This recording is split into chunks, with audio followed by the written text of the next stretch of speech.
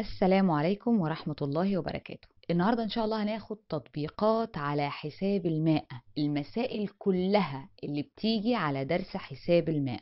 الدرس ده عندي خمس أنواع من المسائل. يا إما مسألة سعر الفايدة ودي مسائل ليها علاقة بالبنوك. يا إما مسائل سعر الخصم أو التخفيض اللي بيحصل على المحلات أو على الهدوم أو على الأجهزة الكهربائية. يا إما مسألة مكسب يا إما مسألة خسارة يا إما مسألة إنتاج. هم دول الخمس أنواع اللي هنشتغل عليهم النهاردة. أول نوع عندي سعر الفايدة. لما تلاقي مسألة سعر الفايدة ثبت كده في دماغك إن أنا هلعب على ثلاث سطور. سطر كلام وسطر نسب وسطر أعداد حقيقية. سطر الكلام فيه حاجات ثابتة أول ما تشوف مسألة سعر فايدة بتكتبها. إيه هو؟ أول حاجة عندي المبلغ والمبلغ ده اللي بتروح تحطه في البنك.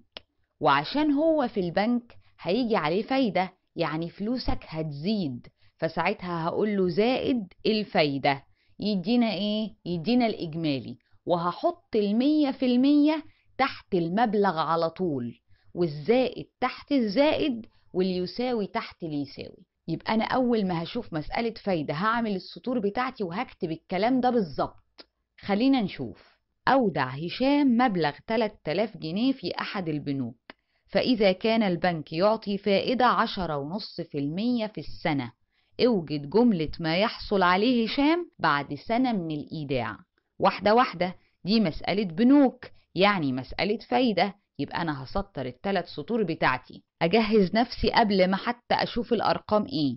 المبلغ زائد الفايدة يدينا الإجمالي والمية في المية تحت المبلغ على طول والزائد تحت الزائد واليساوي تحت اليساوي. خلينا بقى نمسك رقم رقم ونشوف هنحطه فين. بس خلينا بقى متفقين على حاجة عشان هنمشي بيها لحد آخر الدرس. أي رقم عايز تعرف ده عبارة عن إيه بص على اللي قبليه. التلات تلاف جنيه دي إيه؟ آه والله يا ميس دي أودع هشام المبلغ ده. يعني كان في واحد اسمه هشام أخد في جيبه 3000 جنيه وراح حطهم في البنك. يبقى هو ده المبلغ بتاعي. يبقى أنا هاخد ال 3000 جنيه وعشان جنيه ده سطر الأعداد الحقيقية. العدد الحقيقي هو العدد اللي ليه تمييز. هحط ال 3000 جنيه تحت المية في المية. طيب أمال العشرة ونص في المية دي إيه يا ميس؟ بص على الكلمة اللي قبلها بيقولك فايدة. يبقى أنا هحطها تحت كلمة الفايدة. طب تحتها على طول ولا تحت اللي تحتها؟ لا يا ميس دي في المية. يعني سطر النسب يعني السطر اللي تحت الكلام. مع المية في المية. يبقى أنا هاجي هنا أحط عشرة ونص في المية. في أرقام تانية؟ لأ. هو بقى بيقولك إيه؟ أوجد جم ثانية واحدة. أول ما تشوف أوجد أو احسب جهز نفسك عشان هتحط عندها سين عشان هي دي الحاجة اللي مطلوبة منك. هو عايز منك إيه؟ جملة ما يحصل عليه هشام جملة دي يعني إيه؟ يعني إجمالي. يبقى أنا هاجي تحت الإجمالي أحط سين ولا تحت اللي تحتها؟ لا مس هو قال لي جملة ما قاليش النسبة المئوية هو عايز الجملة. يبقى معنى كده إن أنا هحط السين في سطر الأعداد الحقيقية. طب أنا حطيت سين يا ميس. طيب شايف السطر الأولاني ده اللي مكتوب مية في المية زائد عشرة ونص في المية؟ إحنا عايزين نجمعهم ده جمع. هتيجي انت بقى على الآلة مية زائد عشرة ونص هيديني كسر يا ميس هتعمل انت إيه؟ هتفكه. الدرس بتاعنا ده أي كسر يطلع لك فكه. حوله لعشري يبقى انت هتحط مية وعشرة ونص وعشان انت في سطر النسب هتكتب جنبها في المية. وانت بتدخل الجمع ما تدخلش النسب المئوية على الآلة. تاني. المسائل اللفظية كلها ما تدخلش في المية على الآلة. كده أنا بقى جاهز إن أنا أعمل المقص الكبير بتاعي. ليه يا ميس بعمل مقص كبير؟ عشان ده العمارة الكاملة ودي العمارة الناقصة. يبقى أنا هقول له السين تساوي. اللي جم مع بعض يتضربوا في بعض. اللي على سطر المقص يبقى هتقول له التلات تلاف في مية وعشرة ونص في المية على الناحية التانية بقى من المقص. مية في المية. لما تيجي تدخل ده على الآلة بتدخلها بالشكل ده. خلي بالك أنا ما بدخلش الفيلمية على الآلة أنا بكتبها بس. هتطلع لك كام؟ 3315 3315 إيه؟ والله يا ميس أنا كنت واقف بالسين عند الأعداد الحقيقية اللي ليها تمييز. معنى كده إن هنا كمان ليه تمييز. إحنا في المسألة هنا شغالين جنيه يبقى أنا هنا هحط جنيه. طب ليه يا ميس ما حطيتش في المية؟ والله لو كانت السين دي في سطر النسب كنت حطيت في المية بس السين هنا في الأعداد الحقيقية. تعال نقول تاني. اشترت ميرفت شهادات إيداع من أحد البنوك. فإذا كان البنك يمنح فائدة 12% في السنة فحصلت على فائدة مقدارها 2160 جنيه في نهاية السنة. أوجد 8 شهادات الإيداع يبقى دي أول حاجة عندي. وجملة المبلغ خلي بالك إن هو هنا عايز حاجتين. طيب أنا كده عرفت إن دي مسألة فايدة. هسطر السطور بتاعتي وأكتب الكلام اللي أنا عارفه اللي هو إيه؟ المبلغ زائد الفايدة يدينا الإجمالي.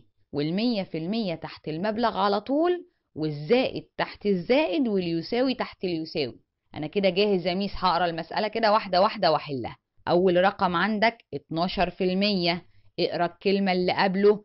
فايدة يا ميس؟ يبقى أنت هتيجي تحت الفايدة على طول في سطر النسب عشان دي في المية وتكتب 12 في المية. قبل ما تكمل مش السطر ده كده جاهز إنه يتجمع؟ يبقى مية مع ال 12 يدينا مية واتناشر في المية. ليه حطيت في المية؟ عشان ده سطر النسب المئوية. طب أدخل في الميات؟ لأ. المسائل اللفظية ما تدخلش الفيلمية على الآلة. أما أنا أدخلها إمتى يا ميس؟ لما تيجي في أكمل. ده موضوع تاني بقى. طيب الرقم التاني بقى بتاعنا. 2160 إيه الكلمة اللي قبلها؟ مقدارها يا ميس. إيه مقدارها يعني؟ إيه مقدارها؟ ما تنفعش طبعا مش موجودة عندي في سطر الكلام. طيب يبقى معنى كده إن الكلمة دي مش نافعة. هعمل إيه؟ هبص للكلمة اللي قبلها. فايدة يا ميس حلوة قوي يبقى أنا هاجي تحت الفايدة في سطر الأعداد الحقيقية عشان دي جنيه وأكتب 2160 هو بقى عايز 8 شهادات الإيداع اللي هو المبلغ وكمان الجملة اللي هي الإجمالي. يبقى أنا هاجي هنا أعمل س وأعمل مقص. وهقول له السين تساوي أو المبلغ يساوي أو ثمن الشهادات تساوي مية في المية في ألفين مية وستين اللي جم مع بعض على اتناشر في المية. دخلها على الآلة من غير النسب المئوية. هتطلع لك تمنتاشر ألف جنيه. طب ليه جنيه يا ميس؟ عشان إحنا في سطر الأعداد الحقيقية. طب هاجي بقى أنا هنا للناحية التانية الصاد. هعمل مقص. وهقول له 2160 في 112% على 12% وبرضه مش هدخل النسب المئوية. يبقى أنا هيطلع لي 20160 إيه جنيه. طب ميس ممكن كنت أجمع السين مع ال 2160 آه طبعا صح مفيش مشكلة. يبقى إحنا كده خلصنا مسائل الفايدة بكل الأشكال بتاعتها. هنخش دلوقتي على النوع التاني اللي هو سعر الخصم أو التخفيض. إيه اللي بيحصل في التخفيض؟ إن أنا برضو عندي ثلاث سطور بس الحاجة اللي إحنا هنعمل عليها تخفيض دي كان ليها مبلغ قبل ما يحصل التخفيض عليها. يبقى أول حاجة المبلغ المبلغ بتاع الحاجة نفسها. حصل عليها تخفيض أو حصل عليها خصم. يعني معنى كده إن الفلوس اللي أنا هدفعها هتقل الحمد لله. يبقى هقول ناقص التخفيض. يدينا إيه؟ يدينا السعر بعد التخفيض بعد ما حصل التخفيض. والمية في المية تحت المبلغ على طول والناقص تحت الناقص واليساوي تحت اليساوي. طب أنا لو بلعب على مسألة مكتوب فيها خصم ما فيهاش حاجة ابدا إن أنت بدل ما هتكتب التخفيض هتكتب الخصم. هيبقى عندي المبلغ آه بس ناقص الخصم هيدينا السعر بعد الخصم. طب ميس أنا اتلخبطت وكتبت التخفيض في مشكلة؟ لا خالص التخفيض والخصم زي بعض. بس خلي بالك إن هنا عندك ناقص مش زائد. المسائل بقى بتيجي إزاي؟ اشترت هويدا فستان مكتوب عليه 180 جنيه فإذا كان التخفيض 40% أوجد مقدار ما تدفعه بعد التخفيض. دي مسألة تخفيض. هعمل ثلاث سطور. سطر كلام ونسب وأعداد حقيقية. أنا عارف يا ميس الكلام اللي بيتكتب في التخفيض اكتبه. يبقى أنا هقول له المبلغ. ناقص التخفيض يدينا السعر بعد التخفيض. والمية في المية تحت المبلغ على طول والناقص تحت الناقص واليساوي تحت اليساوي. تعالى بقى أنا إيه هشوف المية وتمانين دي هتتحط فين. إيه الكلمة اللي قبل المية وتمانين؟ إن الفستان مكتوب عليه ميس مية وتمانين. يعني إيه بقى مكتوب عليه؟ يعني الفستان ده وهي بتشتريه وايدة أول ما حطت إيديها عليه لقت الفستان مكتوب عليه مية وتمانين جنيه. ولا تعرف إنه عليه خصم ولا تعرف إن عليه تخفيض. يبقى معنى كده إن المية وتمانين جنيه اللي مكتوبة على الفستان ده تمن الفستان نفسه. المبلغ بتاع الفستان نفسه قبل ما حد يقول لها إن الفستان ده عليه تخفيض. يبقى أنا هاجي هنا وهكتب 180 جنيه. وبعد كده قالوا لها إن في تخفيض على الفستان ده 40% يبقى ال 40% دي بتاعت مين؟ الكلمة اللي قبلها التخفيض. يبقى أنا هاجي تحت التخفيض وهكتب 40% طب ما دي مسألة طرح يا ميس. اطرح. 100 ناقص 40 هيديك 60 وتحط جنبها إيه؟ في المية. أمال هو عايز إيه يا ميس؟ أوجد مقدار ما تدفعه بعد التخفيض. يعني هو عايز تمن الحاجة بعد التخفيض. هاجي أنا بعد التخفيض وهحط السين تحتها في سطر الأعداد الحقيقية وهعمل مقص مقص كبير عشان العمارة الكاملة في حتة والناقصة في حتة بعيدة. يبقى أنا هقول له السين تساوي أو السعر بعد التخفيض يساوي مية وتمانين في ستين في المية على مية في المية. وبفكرك اوعى تدخل هنا في المية. أنا بكتبها بس بالقلم. هيديك مية وتمانية. مية وتمانية إيه؟ والله أنت واقف في سطر الأعداد الحقيقية يبقى 108 جنيه. طب بص يا ميس معنى كده إنه أي حاجة يقول لي إن السعر ده مكتوب عليها يبقى ده تمن الحاجة نفسها الأصلي؟ آه التمن اللي هو قبل ما يحصل تخفيض اللي هو المبلغ. طب تعالى للي بعده. مكوة سعرها 120 جنيه وعليها خصم بنسبة 20% أوجد قيمة المكوة بعد الخصم. آه دي مسألة خصم يا ميس. هسطر التلات سطور بتاعتي. هكتب المبلغ. ناقص الخصم. يدينا السعر بعد الخصم. والمية في المية تحت المبلغ على طول. والناقص تحت الناقص. واليساوي تحت اليساوي. المية وعشرين دي اللي هي مين؟ هبص على اللي قبلها. سعرها سعر المكوى نفسه قبل ما حتى أعرف إن عليها خصم ولا تخفيض قبل ما أي حد يقول لي أي حاجة المكوى دي أصلا سعرها 120 جنيه. سعرها يعني المبلغ بتاعها. يبقى أنا هاجي هنا لل 120 أكتبها تحت المبلغ. طيب أمال ال 20% دي إيه يا ميس؟ قال لي نسبة الخصم. يبقى معنى كده إن دي بتاعة الخصم. هاجي تحت الخصم وأكتب 20% كده أنا جاهز أطرح. 100 ناقص 20 وخلي بالك إن دي ناقص لأن الولاد بتتسرع وبتجمع كل المسائل. لأ ركز وأنت بتجمع وأنت بتطرح. هيديك 80% أمال هو عايز إيه يا ميس؟ أجري على أوجد. أوجد إيه؟ قيمة المكوى بعد الخصم. يبقى أنا هاجي هنا للسعر بعد الخصم وهكتب تحت سين. وهعمل مقص كبير. وهقول له السين تساوي المية وعشرين في تمانين في المية على مية في المية ومش هدخل النسب المئوية. هيديك ستة وتسعين. ستة وتسعين إيه؟ والله يا ميس أنا واقف في سطر الأعداد الحقيقية اللي ليها تمييز يبقى أنا هكتب جنيه. طب بص يا ميس أنا خايف أحط المية وعشرين تحت المبلغ بصراحة. أي رقم تكون خايف تحطه في مكان لا يطلع مش في مكانه؟ بص المطلوب منك إيه وحط السين عنده. يعني مثلا أنا فرضا ما كتبتش حاجة هنا ولا هنا.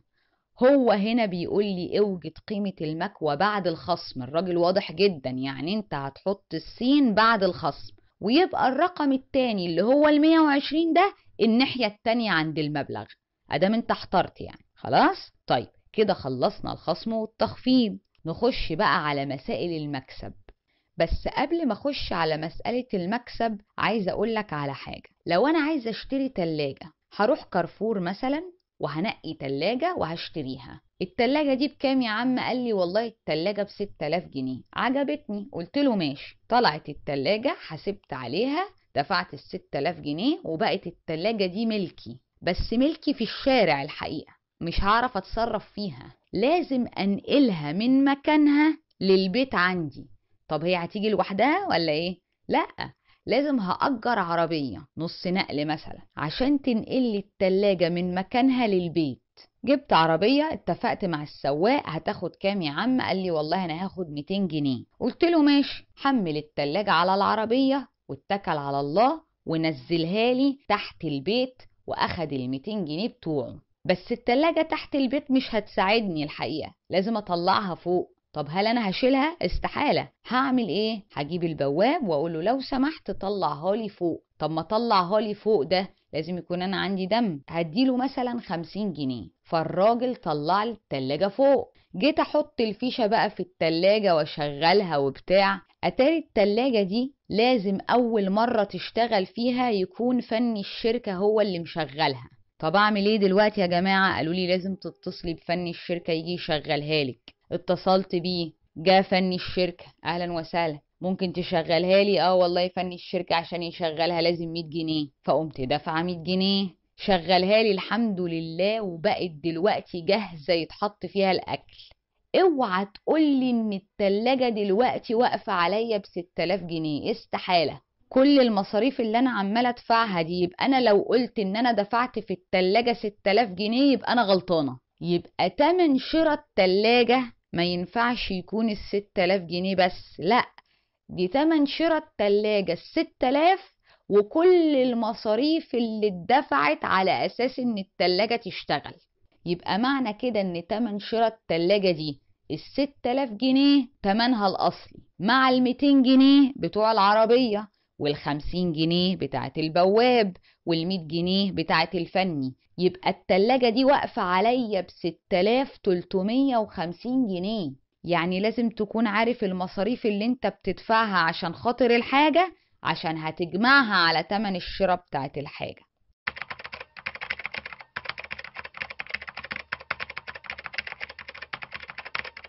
يلا جاهز؟ لما هتشتغل مسألة مكسب هتسطر التلات سطور بتاعتنا. سطر كلام وسطر نسب وسطر أعداد حقيقية. أي تاجر في الدنيا لازم يشتري الحاجة الأول وتبقى ملكه وبعدين يبيعها للناس. يبقى أنا دلوقتي أول حاجة بعملها بشتري. يبقى أنا هنا عندي تمن الشراء. زائد المكسب لأن فلوسك هتزيد. هيدينا تمن البيع. والمية في المية تحت الشراء على طول والزائد تحت الزائد واليساوي تحت اليساوي. ونروح بقى نشوف المسائل بتاعتنا بتيجي إزاي. اشترى صاحب أحد معارض الأدوات الكهربائية غسالة من المصنع بمبلغ 2350 جنيه. يبقى لحد هنا بقت ملكه بس رجع كمل وقالك وصرف على نقلها 50 جنيه ثم باعها بمبلغ 3000 جنيه. أوجد النسبة المئوية لمكسبه. آه والله دي مكسبه يعني مكسب يبقى أنا هعمل التلات سطور بتاعتي سطر كلام ونسب وأعداد حقيقية. هاجي أقول ثمن الشراء زائد المكسب يدينا ثمن البيع والمية في المية تحت الشراء على طول والزائد تحت الزائد واليساوي تحت اليساوي. هبتدي أقرأ بقى المسألة واحدة واحدة. الراجل ده اشترى الغسالة ب 2350 حلو يا ميس يبقى ده تمن الشراء. أجي أكتبه تحت تمن الشراء. اوعى اوعى ما هو صارف عليها. يعني انت لو تاجر شاطر مش هتقول أنا اشتريت الغسالة ب 2350 لا ده أنا صارف عليها ميس. حلو قوي. يبقى انت هتيجي هنا تحت تمن الشراء وتقول لي والله أنا اشتريت الغسالة دي ب 2350 زائد ال 50 جنيه اللي أنا دفعتها في النقل. أمال مين يعني اللي هيدفعها لي؟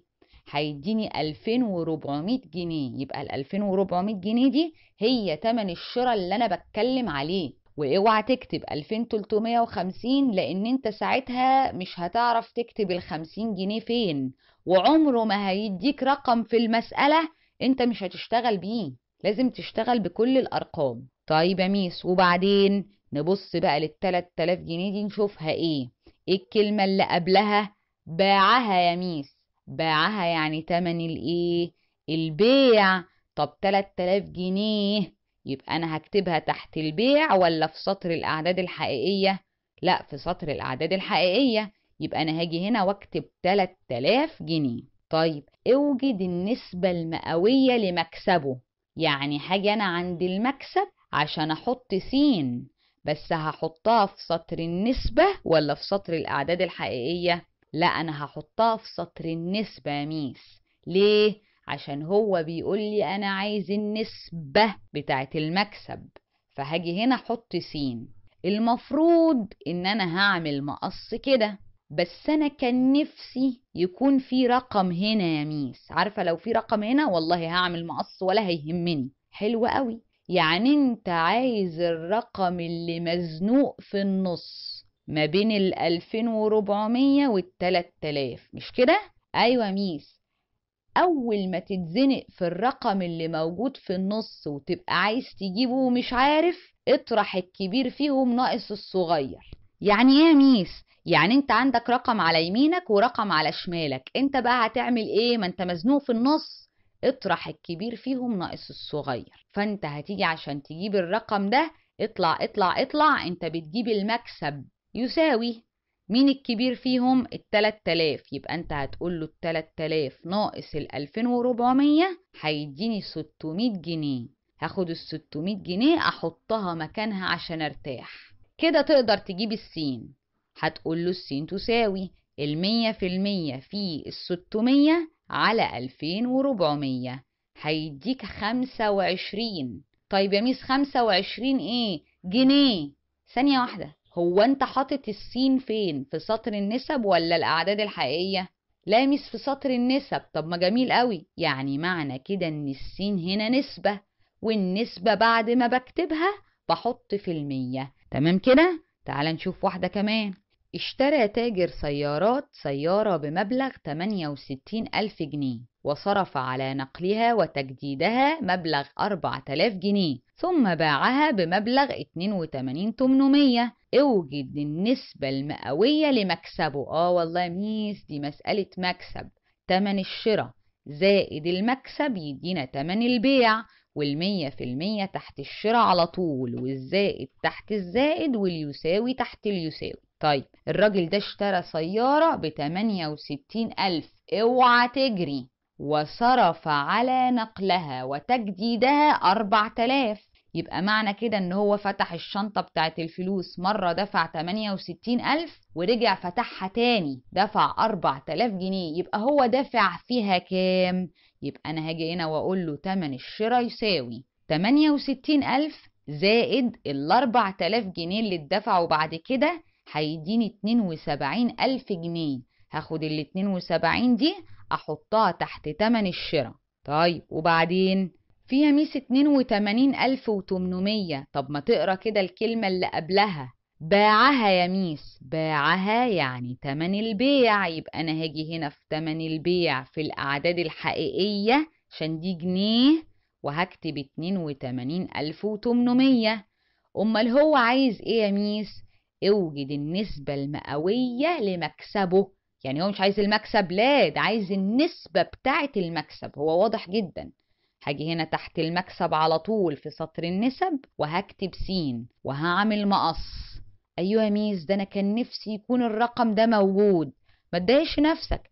هو مش الرقم ده مزنوق بين الأرقام؟ أيوه ميس مزنوق. مزنوق. ما أنا خلاص عرفت إن حضرتك مزنوق خلاص. طب لما هو مزنوق طب ما نطرح الكبير فيهم ناقص الصغير. اطلع اطلع اطلع. انت عايز تجيب المكسب. يبقى المكسب يساوي مين الكبير فيهم؟ 82800 ناقص 72000 هيديك كام؟ 10800 يبقى أنا هاخد ال 10800 جنيه أحطها في مكانها. كده أقدر أعمل مقص.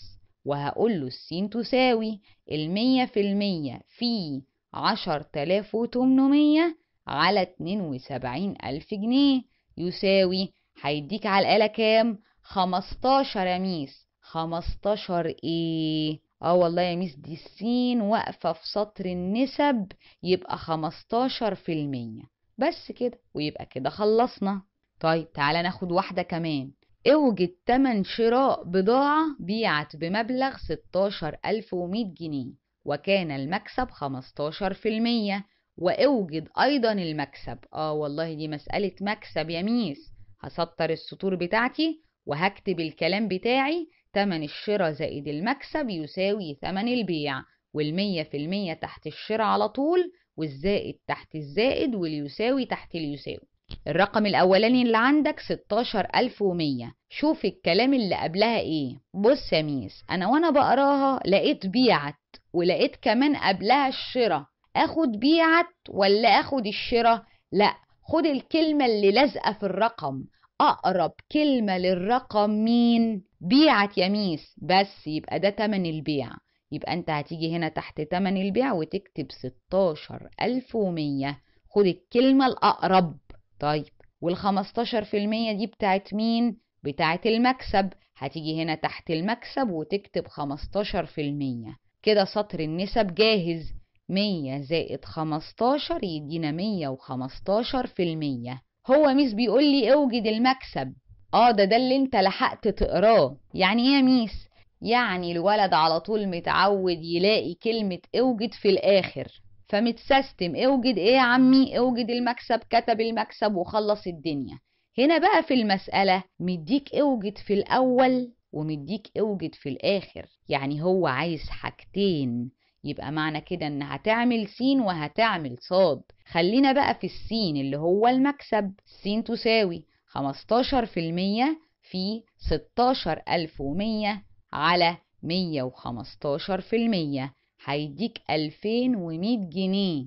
يبقى أنا هاجي هنا لل 2100 أحطها عند السين وأجي هنا الناحية التانية وأكتب صاد وهعمل مقص وهقول له الصاد تساوي 100% في 2100 على 15% هيديك 14000 جنيه.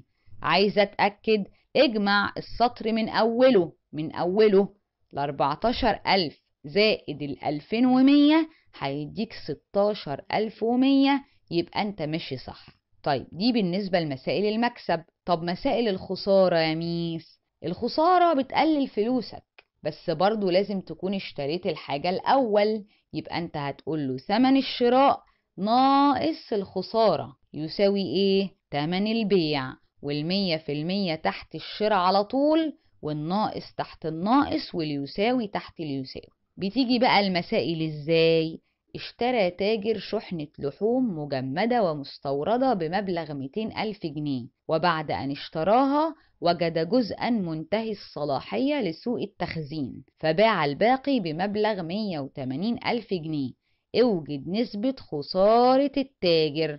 آه يا ميس دي خسارة. يبقى أنا هكتب تمن الشراء ناقص الخسارة يديني تمن البيع والمية في المية تحت الشراء على طول والناقص تحت الناقص واليساوي تحت اليساوي. وبعدين واحدة واحدة بقى. هي الميتين ألف دي بتاعت مين؟ مبلغ. لا. مستوردة. لا. مجمدة. لا. لحوم. لا. شحنة. لا. تاجر. لا. اشترى. بس. اشترى دي من الكلام. يبقى أنا هاجي هنا تحت تمن الشراء وهحط ميتين ألف. طيب المية وتمانين ألف دي بتاعت مين؟ مبلغ. لا مفيش مبلغ عندي. الباقي مفيش برضو كلمة الباقي. فباع آه فباع يبقى ده تمن البيع. يبقى أنا هاجي هنا تحت البيع وهكتب مية وتمانين ألف. أمال هو عايز إيه يا ميس؟ أوجد نسبة خسارة الت... نسبة. يبقى أنا هاجي هنا تحت الخسارة في النسب وهحط سين. أيوه يا ميس كان نفسي يبقى في رقم هنا. ولا يهمك. يا سيدي والله عرفت إن أنت مزنوق. الرقم ده تحت كلمة الخسارة يبقى أنا هاجي هنا وأقول له الخسارة تساوي. الرقم ده طالما مزنوق في النص يبقى أنت هتقول له الكبير فيهم ناقص الصغير. هنا الكبير الميتين ألف ما يهمكش. أنت كده كده بتطرح الكبير فيهم ايا كان. يبقى أنت هتقول له ميتين ألف ناقص مية وتمانين ألف هيديك عشرين ألف جنيه. وبعدين تقدر تعمل بقى المقص بتاعك مية في المية في عشرين ألف على ميتين ألف. هيديك عشرة. عشرة إيه؟ والله يا ميس إحنا السين هنا في سطر النسب المئوية يبقى عشرة في المية. طب هو ميس هو أنا على طول هتزنق فيه في النص؟ لا ممكن تتزنق على الطرف. خلينا نشوف. باع تاجر تلاجة بمبلغ 3000 جنيه. فوجد أنه خسر ألف جنيه. أوجد النسبة المئوية لخسارته. آه يا ميس دي مسألة خسارة. يبقى أنا هكتب تمن الشراء ناقص الخسارة يدينا تمن البيع والمية في المية تحت الشراء على طول والناقص تحت الناقص واليساوي تحت اليساوي. هاجي للتلات تلاف. إيه الكلمة اللي قبلها؟ مبلغ لأ تلاجة لأ تاجر لأ باعة.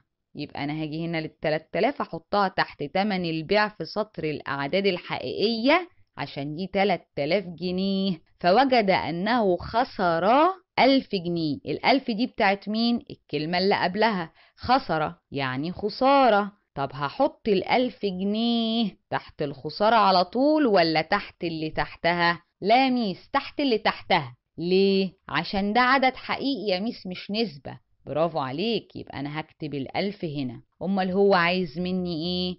النسبة المئوية لخسارته. يبقى أنا هاجي للخسارة. تحت الخسارة على طول في النسب المئوية وهحط سين أيوة ميس أنا كان نفسي يكون في رقم بس المرة دي هنا عشان أقدر أعمل المقص كده. بس الرقم ده مش مزنوق مش في النص. بص حبيبي المسألة الطبيعية بتاعة الطرح المفروض إنها تبتدي من هنا تمشي لحد هنا. ده الطبيعي. كده هي ماشية عدل.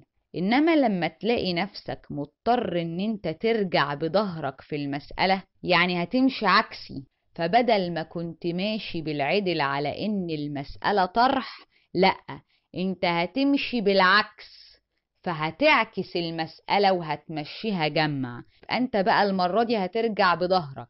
هتاخد التلات تلاف وبعدين زائد الألف عشان توصل للرقم اللي قدام. تاني لو انت ماشي بالعدل هتمشي المسألة عادي. لو انت ماشي بالعكس بظهرك هتعكس المسألة. لو هي جمع هتبقى طرح ولو هي طرح هتبقى جمع. يبقى انت هتقول له والله تمن الشراء اللي أنا عايزه ده يساوي. وانت راجع بظهرك 3000 زائد 1000 يدينا 4000 جنيه. يبقى أنا هاخد ال 4000 أحطها في مكانها. كده أقدر أعمل بقى المقص بتاعي. يبقى أنا هقول له السين تساوي 100% في 1000 على 4000 فيها كام؟ 25 يا ميس.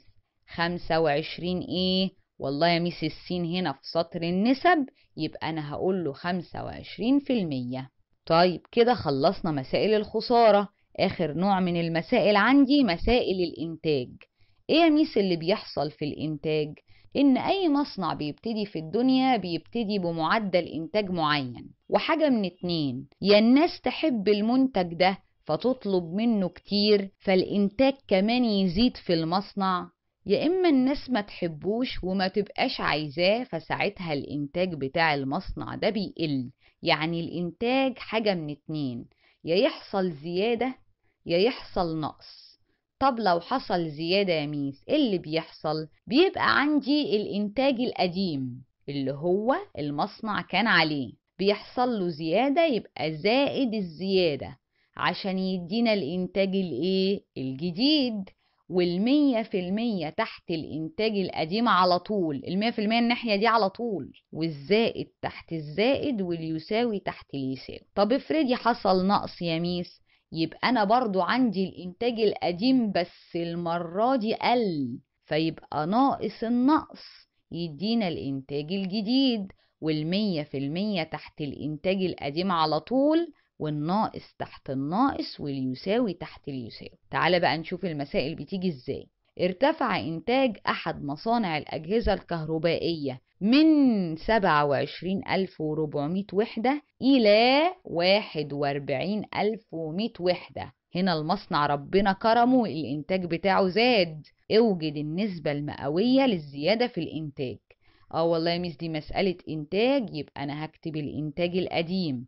وطالما ارتفع يبقى هقول له زائد الزيادة. يديني إيه؟ الإنتاج الجديد والمية في المية تحت القديم على طول والزائد تحت الزائد واليساوي تحت اليساوي. لما أقول لك من من دي يعني القديم إلى يعني ربنا كرمه وبقى الإنتاج الجديد. يبقى أنا هاجي من 27400 يبقى أنا هكتبها تحت الإنتاج القديم.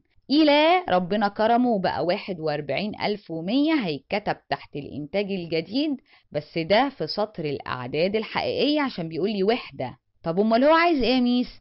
أوجد النسبة المئوية للزيادة. يبقى أنا هاجي هنا تحت الزيادة وأكتب النسبة المئوية س. وهعمل مقص. أيوة يا ميس كان نفسي ألاقي الرقم ده. حلو الرقم ده ماله؟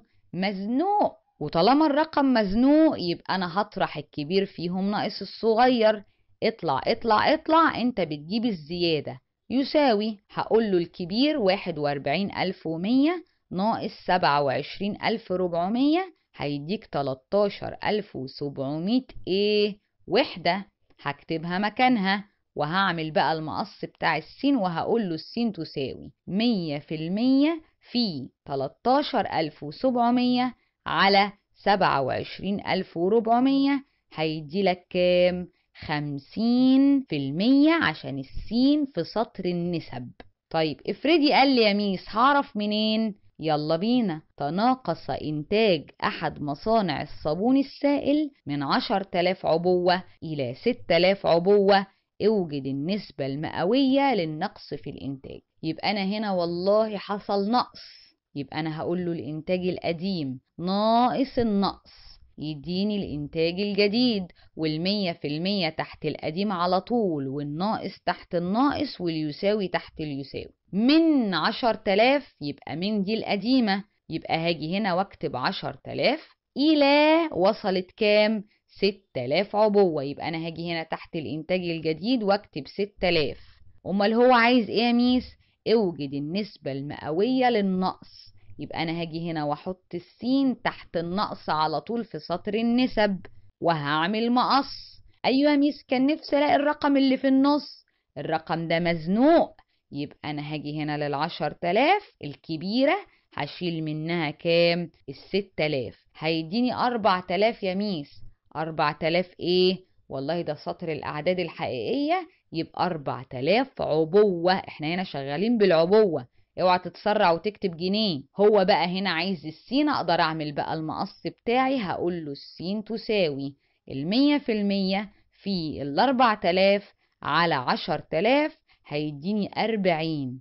أربعين إيه؟ والله يا miss السين هنا في سطر النسب يبقى أربعين في المية. وبكده يبقى خلصنا كل المسائل اللي بتيجي على تطبيقات على حساب المائة. لو فهمت الدرس كويس اكتب لي تحت إن أنت فهمته. ما تنساش بقى ال like وال share والحاجات الجميلة دي. أشوفك على خير يا رب في بقية الدروس. السلام عليكم ورحمة الله وبركاته.